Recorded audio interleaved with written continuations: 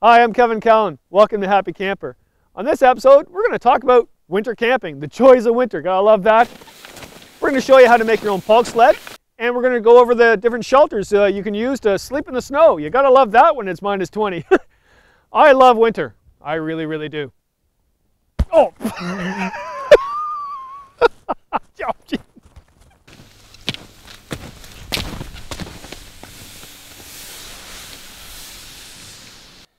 Winter is a fantastic time to go camping. It really is. You got a whole bunch of advantages going on. First of all, you don't have to carry your gear on your back. Uh, you can pull it on the snow. The snow is slippery.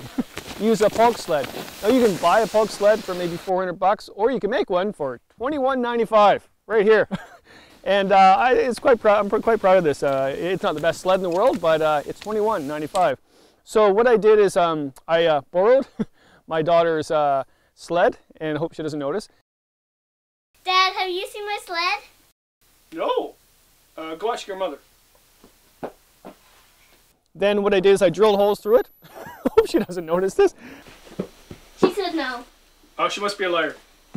I drilled holes through it, and basically what it is is it just a, a keeple or whatever they're called. What are they called? Um, she said she's not a liar.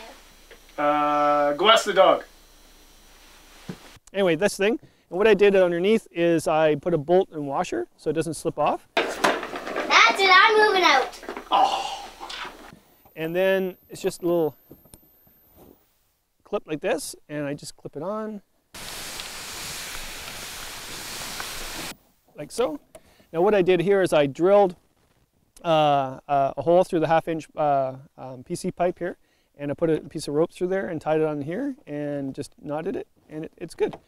The same side here as well. Now you could, in theory, put the rope all the way through the PC pipe uh, if you wanted. I just didn't need to. I just did this it was fine. So PC pipe. Why I use PC pipe? Uh, you can actually haul your gear and pull it on a rope, uh, but eventually you're going to have to go down a hill. So what's going to happen if you use just use rope for that? You're going down the hill. The sled is going to go past you. You have no control over it. But if you use something rigid like a pipe or anything else really, uh, then um, you're going to actually have more control going down the hill and you're not, not going to have that problem. And what I did is I attached the other end to uh, an old backpack harness I had uh, in the attic and I attached it the same way. Just little, little rings there, key rings there. And just go through the pipe as well to put the rope on. So it works. Now why I crisscross the PC pipe like this is you can have it parallel if you want. Uh, you, you, still have control going down the hill. But uh, I actually was told, I, I, don't know why this works actually, but I was told if you crisscross them, you have more control going around the corners. So if you have them parallel, you'd have to go around the corner like a, like a big truck to do a wide turn. when they're crisscrossed though, you don't. It actually go, goes around the corner in a tighter turn. And uh, really, in all honesty, I don't know why that works, but it does work. Well, that's a pulk sled for $21.95. And uh, I had a lot of fun making it too. And it's fantastic to use uh, while winter camping because you got a lot more gear, to be quite honest, when you're winter camping than you are summer camping. So you need to haul everything on the sled. There's two main types of shelter to use while winter camping. Uh, the first one is a four season tent. Not a three season, a four season. The differences between a three season and four season uh, the you know the type of tent that you would use in the summertime compared to one you would use in the wintertime is that it's first of all it's A-framed.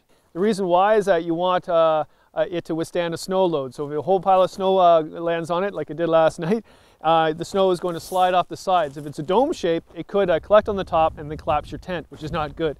The poles as well are really good poles for the same reason. Then uh, the other, other thing that's really, really important, to be quite honest, between that, the three season and a four season is ventilation.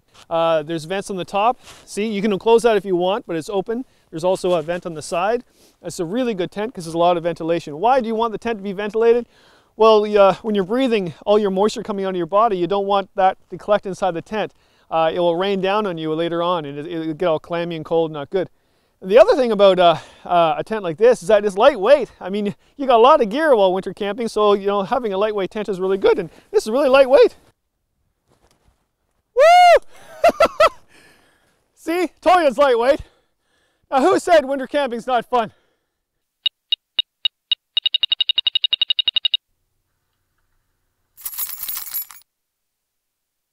So the second option is uh, what's called a stove tent, a prospector tent, uh, a hot tent. Uh, what it is is just a, a canvas dwelling that has um, a stove inside and it's a heat source. Now, yeah, it's not as uh, lightweight as the four season tent, obviously, uh, but it has a heat source. and when the temperature drops, you're gonna love that heat source. So it's a pretty sturdy tent. This one's got aluminum poles. It's by uh, Snowtrekker. Uh, I just got this, I love this tent. And uh, it's only 27 pounds, it's not too bad. It's uh, This one here is for three people. And yeah, you, you put a, a, stove inside with a pipe sticking out the side. And there's no uh, issue about the, you know, the flames are inside the tent because around the uh, perimeter of the hole where the pipe comes out, it's a, a fireproof material, so it's fine. And I gotta tell you, like really, when the temperature really does drop, uh, you're gonna love it in, in there. It's like a steam bath. It's so hot in there. Uh, it makes a huge difference between sleeping in this when it's like minus 20, 30, whatever, and sleeping in a four season tent uh, inside just your sleeping bag. So uh, I love this thing. This has ventilation as well, just like the four season tent. There's one uh, opening on this side, another on the other. Uh, this is canvas. Uh, it comes in a lot of different materials, but I actually like this lightweight canvas. So yeah, you basically uh, you tie it to the sides here like this and hold it hold it out. Now, if you can't find something to tie it to, which is could be an issue, there's a whole bunch of different ways. Instead of putting a peg in the ground, um, what you really do is you actually put a log, tie the log to this rope, dig a hole in the snow, and then pour water on the snow and let it freeze, and you got an ice peg, and it works really well. And you make yourself a tripod to hold the pipe up, and uh, make sure it's nice and safe and sound, and it's perfect. So if you look inside, there's lots of room. That's a great advantage. You can stand up in it. Of course, uh, Disadvantage is it's got no floor. You have to put a tarp down. Uh, it's snow on the ground.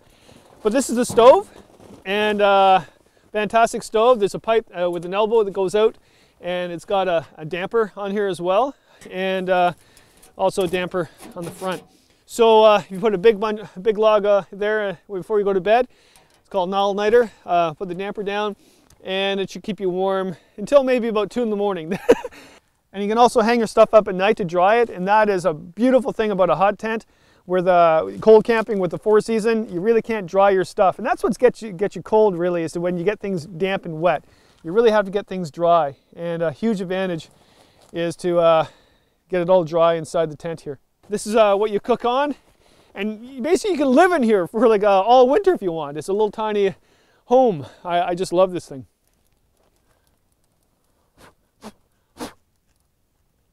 Now that's winter camping. So that's winter camping. Sounds crazy at first, but give it a try. You'll love it.